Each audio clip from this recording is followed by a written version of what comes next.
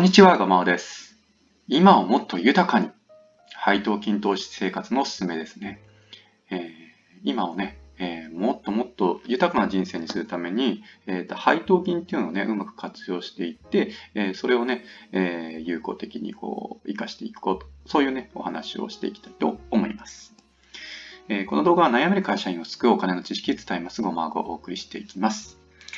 え2019年ね、配当金受領額はあの18万円を達成しましたのでね、その経験をもとにね、お話ししていきます。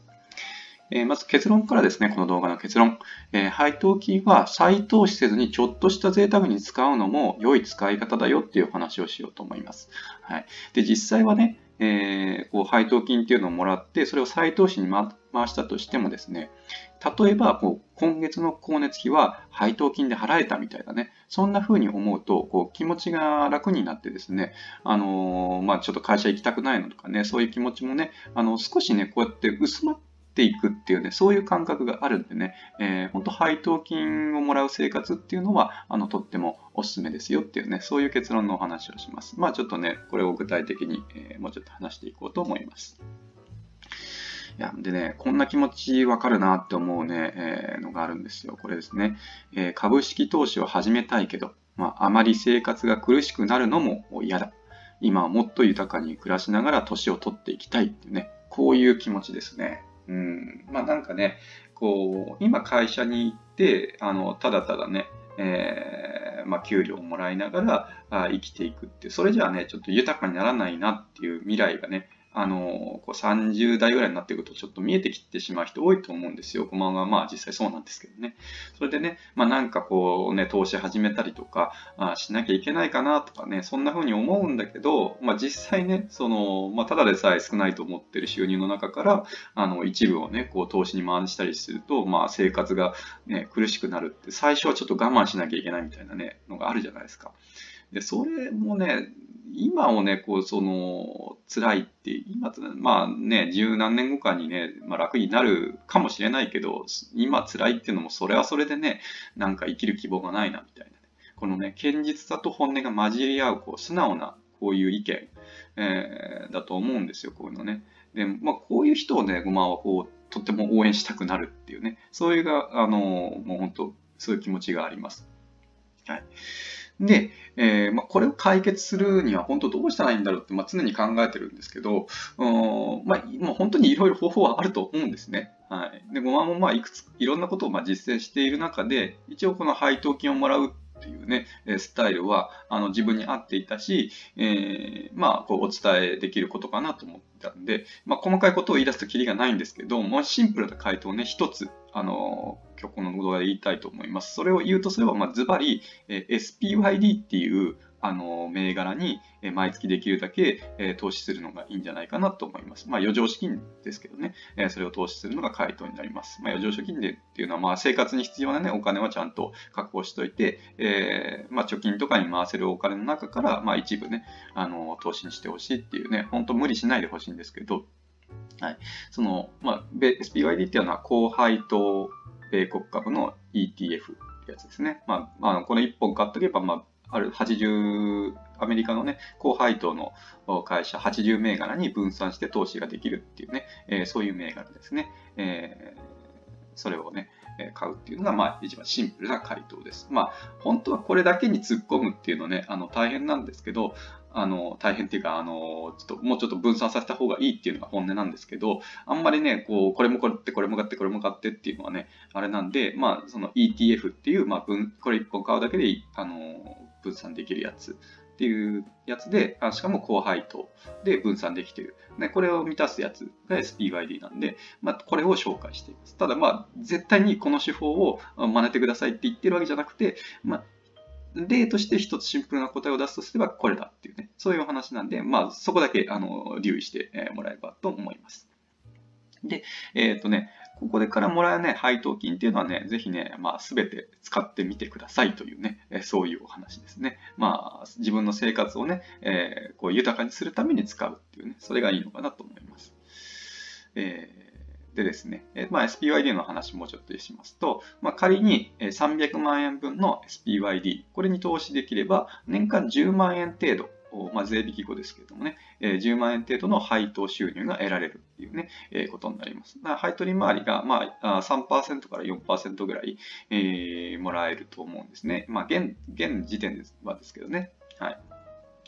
で、えっ、ー、と、5万はね、こう実際に、えー、年間18万円程度の配当金を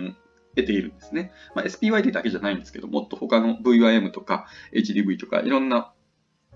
あの ETF、あと個別株とかもあのいろいろ持ってて、まあそれの総合なんですけどね。まあこの18万円もらってますと。で、それをまあ一月に換算すると月に1.5万円程度ね、えー、の配当金がまあ入ってくるということな状況になるってます。で、これってまあ大したことない額かもしれないですけど、まあ、光熱費分ぐらいはまあもらえてるって思えば結構嬉しいんですよ。まあその電気代、水道代とかガス代とかね、そこら辺はもう配当金収入だけで、えーまあ、支払えてるから、うんまあ、その分払わなくていいしなみたいな、そんな気持ちになるっていう、ね、えー、これがね、結構あの精神的にいいんですよね。うん、これがね、配当金投資のいいところだと思います。で、具体的にね、ごまがどんな銘柄に投資してるのかっていうね、えー、のをちょっと、まあ、コバ配当受領利益ですけど、これバッと見て、えー、もらって、はい。え、ー、と、まあ、結構もらってるのがこの VYM っていうやつなんですけどね、えー、これも、まあ、SPYD と似たようなもので、えー、まあ、このね、1回、だいたいあのー、えー、と3ヶ月に1回ぐらい、あの、米国株の配当金ってもらえるんですけどね、その1つの銘柄に対してね。WIM だったら3月とか6月、次9月、で、まあ、まだ来てないですけど、12月にもらえるっていうのが VYM ですね。で、でまあ、VM は SPYD と同じような似たようなやつで、高配当株の ETF です。ただ、まあ、今回 VIM はお勧めしてなかったのは、あの配当利回りがちょっと今低くなっちゃってるっていうね、3%以下になっちゃってるんで、うん、ちょっとね、それだと配当金あんまり多くもらえないんで、えー、今だったらまあ SPYD、これですね、SPYD をお勧めしてますよっていうので、それだけの話ですね。で、えっ、ー、と、SPYD に関しては、5万はあの2019年今年から積み立て始めたばかりなので、まだね、そんなに、あの持って保有してないっていう状態ですね。えー、その前、2016年から VYM あの買ってたんで、えー、その分はね、結構配当金もらえてます。えー、VYM ね、1回で、えー、3ヶ月に1回ですけど、まあ2万2000円とか2万3000円ぐらいもらえるんですよね、1回に対してね。でこれ結構大きくてね、本当毎月毎月、あの、他の銘柄からももらえて、えー、まあ、とっても嬉しいし、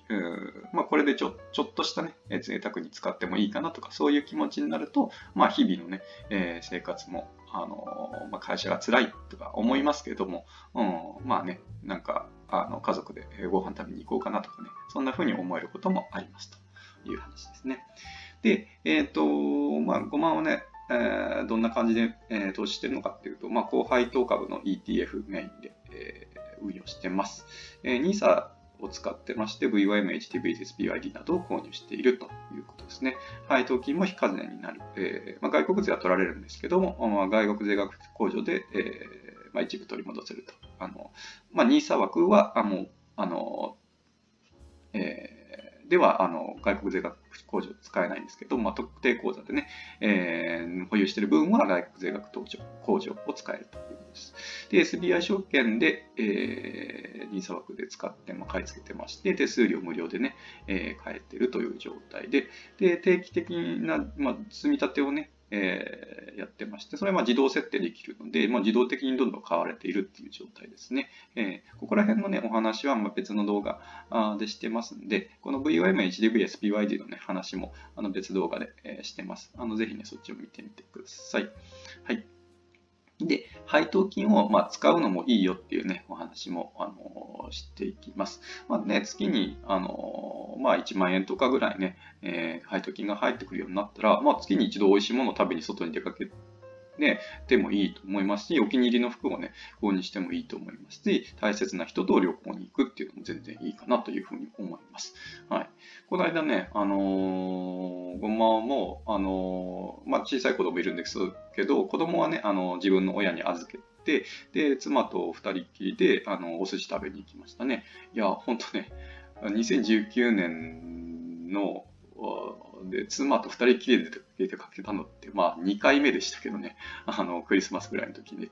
出かけましたけど、いや、本当にね、子供いるとね、全然時間取れないんでね、えっ、ー、と、お寿司行って、まあ1人5000円ぐらいのお寿司ですけど、あの、カウンターで行ってね、あの、とっても美味しい食べれまして、いや、非常に満足度高かったですね。こんまあ、ね、一人5000円ぐらいでね、まあ、あんだけ妻も喜んでくれたんだったらね、あのとってもいいお金の使い方だったな、みたいなふうに思いましたので、はい、とっても良かったですね。で、まあ、基本的なこのテーマというか、この動画で伝えた伝えたことは人生を豊かにしようっていうね、そういうお話ですね。まあ、あなたの人生をこう豊かにするために配当金っていうのを使ってほしいんですね。我慢ばっかりの人生では、たとえ老後にこうまとまった人資産を持っていたとしても気軽に遊ぶ体力はないかもしれないですよね。はい。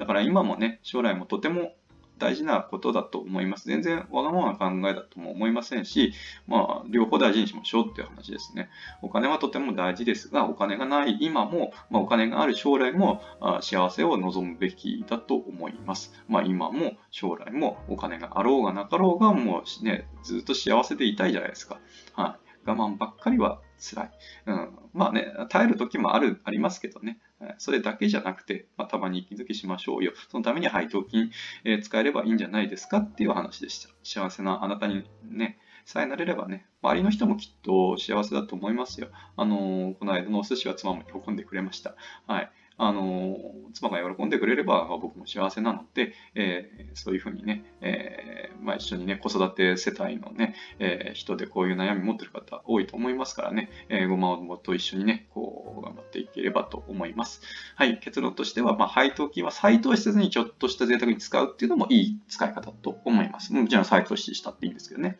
で、実際は再投資に回したとしても、あの、今月の光熱費は配当金で払えたみたいな風に思うと気持ちが楽になります。はい。そんなお話でした。こんな感じでうつ病に、ね、なりそうなくらい会社が辛い人とか、節約、米国株、副業で今変えたい人へ向けて体験のもとに有益な情報発信をしていきますので、えー、まあ、このチャンネルいいなと思った方はあのチャンネル登録していただければと思います。最後まで見てくれてありがとうございました。また次回の動画でお会いしましょう。バイバイ。